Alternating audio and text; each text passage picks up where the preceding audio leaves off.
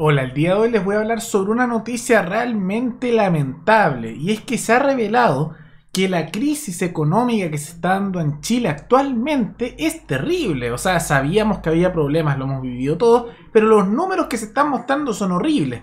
Y sale que es la peor crisis económica que, se ha, que ha ocurrido en este país desde hace prácticamente 40 años, desde el comienzo de la década de 1980, que no se daba una contracción económica, un nivel de decadencia económica tal. O sea, realmente es un, desastre. Y vamos a ver por qué se está dando esto y el detalle un poco en qué afecta al ciudadano común y corriente esta crisis que están diciendo a nivel teórico, pero a nivel práctico cómo le afecta al trabajador, al emprendedor, el día a día de la persona que habita en Chile. Pero antes de continuar, quisiera agradecer al suscriptor MSM Jorquera, que se convirtió en el suscriptor más reciente en decir hacer un aporte voluntario al canal a través de Flow y dejó el siguiente mensaje. Gracias por informar. Gracias a, ti por apoyar el canal. Y por motivar la libertad. Ojalá tengamos un partido libertario, dice MC Mejor que era.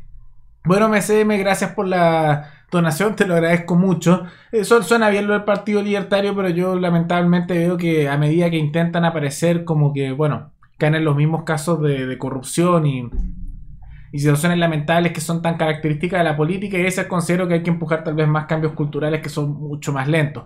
Pero bueno, estoy abierto que ojalá lo otro funcione. Pero ojalá apareciera uno que fuera realmente bueno, hasta ahora no se ha dado. Pero gracias por la donación, te lo agradezco mucho. Y gracias a aportes como el tuyo y el de otros suscriptores que este proyecto sigue adelante y se mantiene independiente. Así que si alguno de ustedes quiere hacer un aporte voluntario único por Flow o por criptomonedas, o un aporte mensual por Patreon o por la comunidad de YouTube, pueden decidir hacerlo mirando el comentario que se encuentra fijado abajo. ¿Qué ocurrió? El Producto Interno Bruto de Chile cayó en un 5,8% a lo largo del año 2020.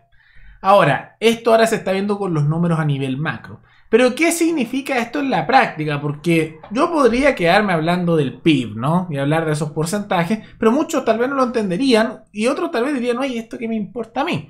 Al final esto es el Producto Interno Bruto, representa mucho el tema de la producción en Chile, muchas veces un nivel de crecimiento más alto, no siempre, pero generalmente conlleva una mejora en la calidad de vida de la gente porque hay más trabajo y más desarrollo económico y por lo tanto hay más actividad, tanto de pymes como empresas más grandes, ¿ok? Entonces, ¿qué significa en la práctica que tengamos un PIB que cayó en un 5,8% esta crisis y que sea la peor recesión que hay en prácticamente 40 años? En la práctica significa lo que esos números reflejan, que muchos negocios han quebrado, que hay mucha gente que ha caído en la pobreza, que la producción en Chile bajó y por lo tanto hay menos trabajo y menos riqueza.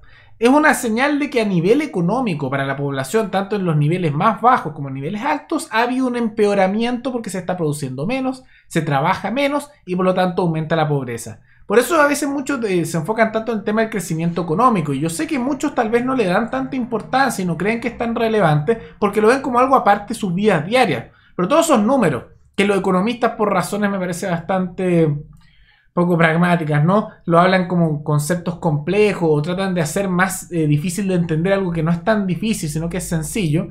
Eh, por eso se preocupan tanto de eso, aunque lo explican pésimos, porque esos números como el PIB, el crecimiento, etcétera, representan a nivel macro la vida diaria de las personas.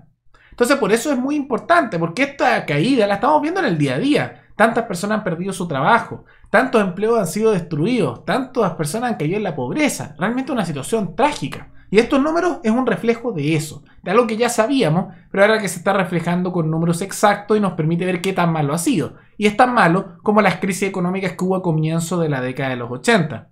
Es una locura. Y vale la pena decir que esta crisis, aunque puede que sea por la enfermedad en parte, por el tema de la pandemia, no es solo por eso. Y es muy importante dejar eso claro. ¿Por qué? Porque hay países que no han reaccionado tan mal, algunos incluso ya se están recuperando bien. ¿Por qué estamos reaccionando de esta manera tan mal como a comienzos de los 80? No por la enfermedad de por sí, si Chile ya tiene uno de los niveles de vacunación más altos del mundo incluso ahora, no es por eso, sino que son por las cuarentenas absurdas, autoritarias y en muchos casos inmorales que hace la casta política chilena, en este caso liderada por Sebastián Piñera. Porque lideramos a nivel mundial, a nivel de población que está siendo vacunada. Y aún así, estamos volviendo a cuarentenas totales, controles totales. ¿Y ustedes qué creen que pasa con las pymes? Con los emprendimientos.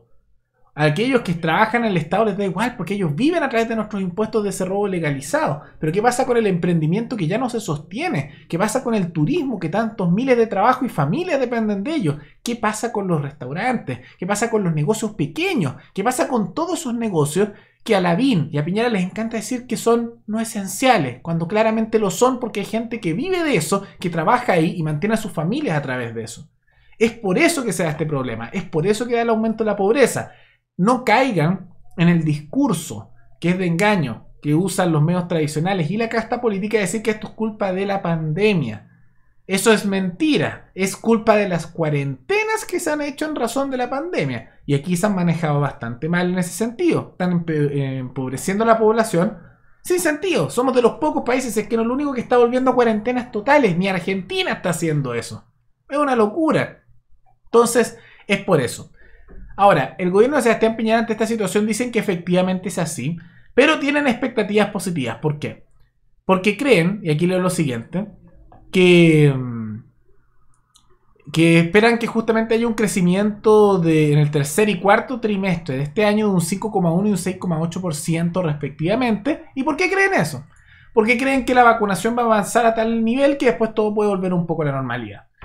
Y efectivamente va a haber ese efecto rebote en que van a mejorar las cosas, no porque se está haciendo bien a nivel económico la cosa, porque ahí Piñera decirá, es gracias a mis medidas. No, simplemente porque está dejando que la gente vuelva a trabajar y solo por eso ya va a mejorar la situación, ¿no? Porque ahí ya no van a quebrar tantos negocios porque están trabajando. Los dejas abrir, ¿no? Lógico que no quiebren tanto. Y se van a tratar de llevar el crédito. Y por lo tanto apuesta la vacunación como un medio para abrir todo. Pero eso depende mucho que quiten las cuarentenas. Porque, insisto, uno le suena lógico eso. Pero en cualquier otro país del mundo ya no están haciendo cuarentenas totales y las vacunaciones no llegan al nivel de lo que estamos haciendo nosotros. Y nosotros, por alguna razón, lideramos la vacunación a nivel mundial por porcentaje poblacional y estamos volviendo a las cuarentenas totales. Entonces, quién sabe, tal vez tengamos el 90% de la población vacunada y sigamos con las cuarentenas y sigamos en este país con nuestros políticos que destruyen trabajo haciendo esto. Inaceptable. Y yo sé que a ellos les da igual.